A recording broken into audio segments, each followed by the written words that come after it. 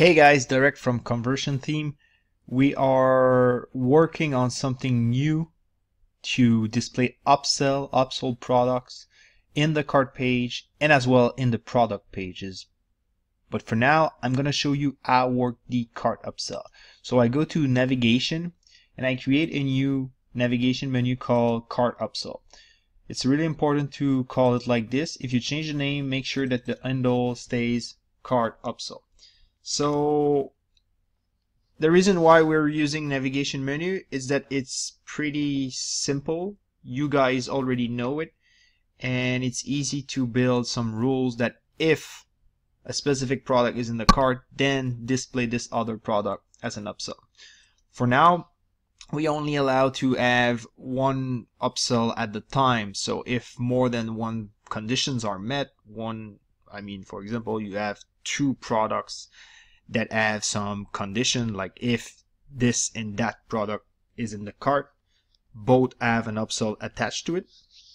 Only one upsell product will be uh, displayed but eventually we'll make it smarter. But I think for now it's more than enough and it's really cool to be able to upsell without the use of any app this is the URL of the products that I want inside the cart. So we need to have this product inside the cart in order to display this other product that is Woman Black Blues that I was searching like this. So I'm gonna go to this specific product This is a dev store. It's pretty ugly, but usually it's nicer than that. we are playing with colors and stuff. In a moment, I'll show you how it looks admin side for the options related to, to cart upsell. So I'm adding to cart this product and I'm gonna go inside the cart page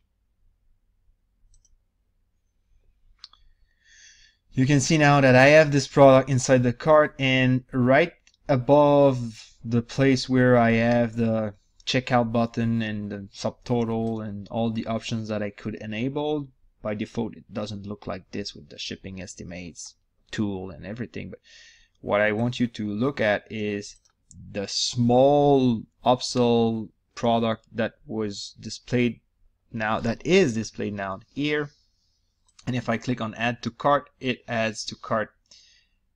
And voila. So eventually we'll add more products that can be added here more than one at a time. Or when you click on add to cart there's another product showing instead uh, if more than one products were already in the cart and more than one rules were met.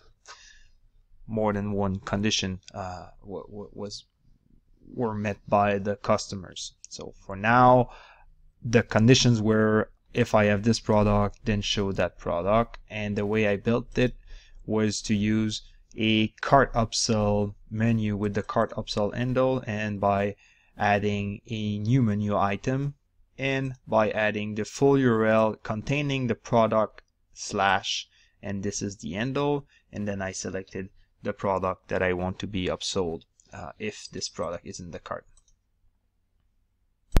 And of course, one thing I forgot to mention is that you need to go to customize theme inside the cart page here inside sections. You click on shopping cart and you scroll down at the very bottom and it explains you how to do to enable upsell. First of course you need to click to enable it. Then you create a navigation menu with the handle cart upsell like I just explained and then you add a menu item, item and name your menu items as follow. Products slash product handle to display the upsell when this particular product is in the cart.